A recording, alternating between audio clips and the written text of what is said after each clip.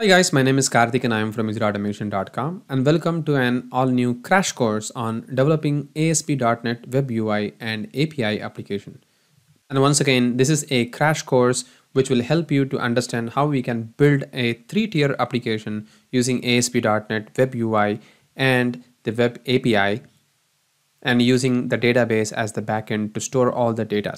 So the prerequisite of developing this application is quite simple. All we need is we need to have a good knowledge on the concept of HTML and API and basics of SQL queries, Visual Studio usage like IDE and the .NET technologies, especially C Sharp because the language that we are going to be using in this whole journey of this crash course is going to be in the C Sharp language. So you need to have a basic understanding of C Sharp. That is most important because we are not going to cover about the basics of C Sharp in this particular course.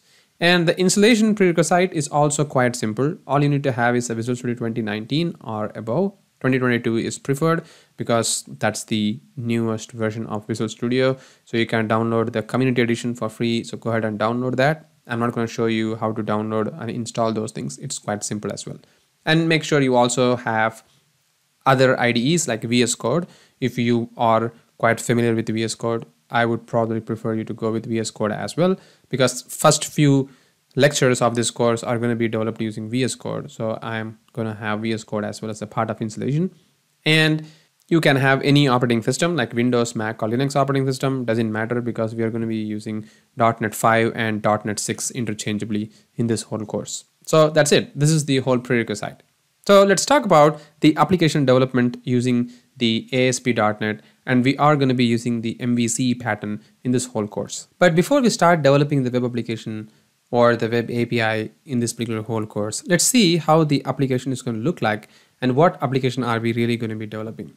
We are going to be developing a three-tier application in this particular series where the application is going to look something like this. As you can see, this is my VS 2022 IDE and it has got what is called as a product API. This is the one we just started in our last video.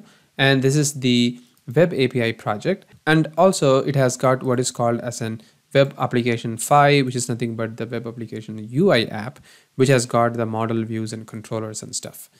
And while I start this particular application, you will notice that I have chosen a multiple startup project. The reason being it is going to start an API project and at the same time it is going to start an UI project. So it's going to start two browser for us and they are running in different ports. And you will notice that this particular project, the 46576 port number is actually starting up a Swagger, which is nothing but the, the product API over here. And then there is going to be a web UI coming up. And this particular web U application is actually going to be using the APIs from here. And you will see that once I click this product it is going to show me all the product details like keyboard, mouse, monitors and cabinet. And you can actually do a lot of things pretty much like creating a new product. And you can also edit the product. And you can also see the details of the product delete the product and everything so everything is actually happening using the APIs available on the product over here. So while you notice that this particular application actually shows me there are like five or four products coming up and all these products can be available or listed from this particular API as well. So if I try doing an execute over here, you will see that it is going to show me the four products. So these four products are actually coming up from this particular API that you are seeing here. So that's why this particular application, the UI application, is basically consuming the API from our Swagger UI as you can see over here. And we'll be not using the URL exactly to actually access it uh, like directly calling an API, something like that. We'll be using the client code generation using NSWAG and stuff, which we'll be talking about in this particular series, but don't worry about it yet.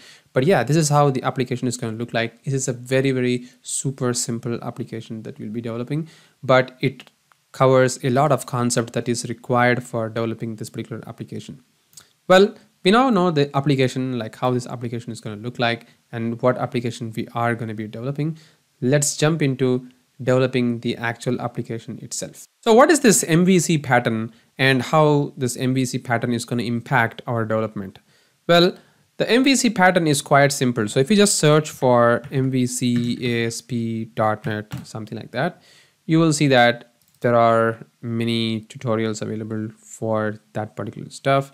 Uh, let's say just MVC and hit enter. Uh, you can see that the .NET.microsoft.com page comes up, the ASP.NET MVC, and this is what it is this MVC is all about. If you already know about MVC pattern, you could probably skip this video and jump to the next video where I'm going to start the development part. But if you are not familiar with MVC, then this video is something that you need to look for because this is what we'll be developing this whole course.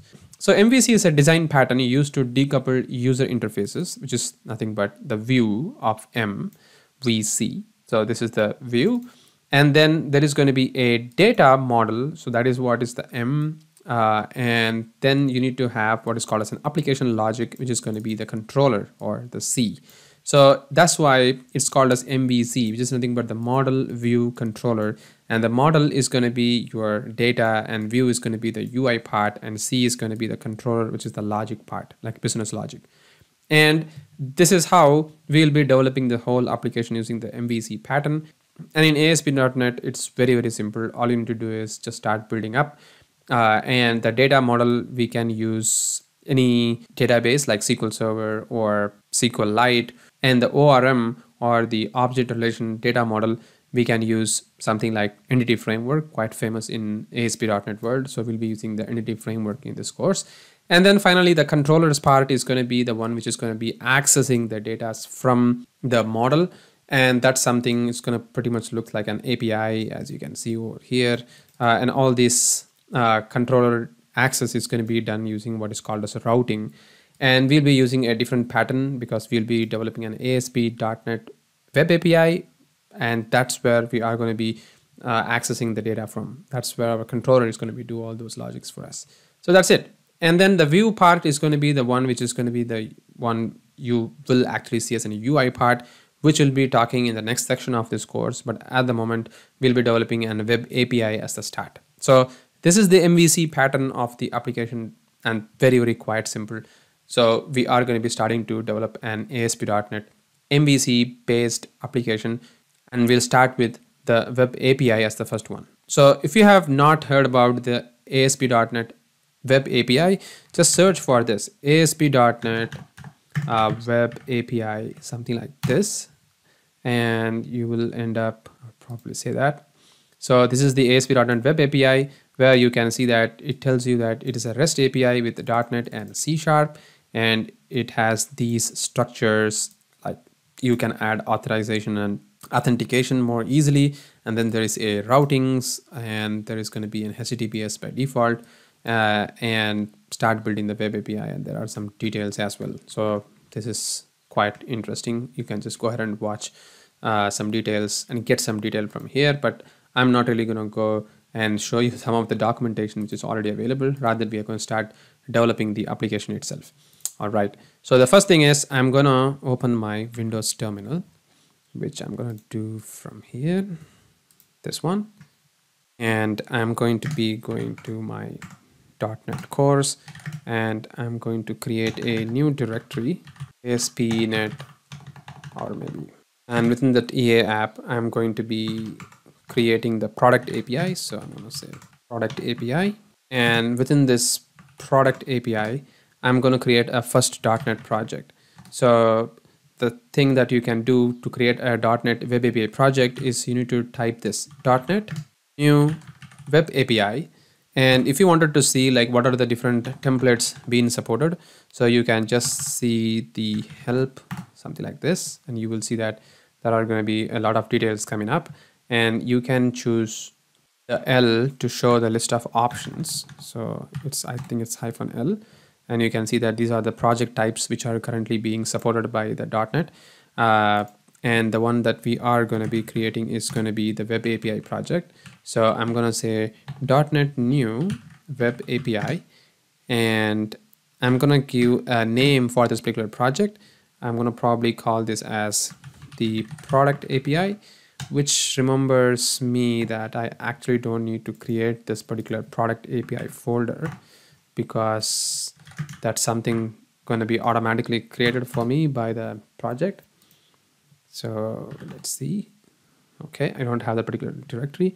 Now I can just do the .NET new of web API and then I can give a name as the product API and I'm gonna give another important parameter which is going to tell me that I'm going to use the .NET 5 version at the moment and I will switch to .NET 6 eventually but as of now I'm going to be using the .NET 5 so we can use a flag called as hyphen f which is going to be for the framework and then you can just type net 5.0 something like that. So you can actually learn this like how it is done as well. So just put an h for help and you can see there is hyphen hyphen f for the .NET 5.0 so this is the one that you need to be giving for the target framework.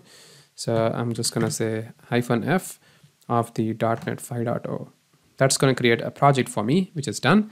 And now I can just do an ls um, just let's say clear.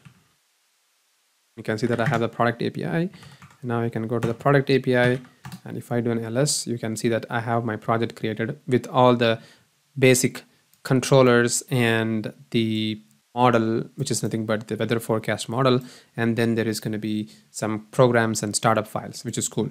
And now I can start developing my project which I'm going to be doing starting our next video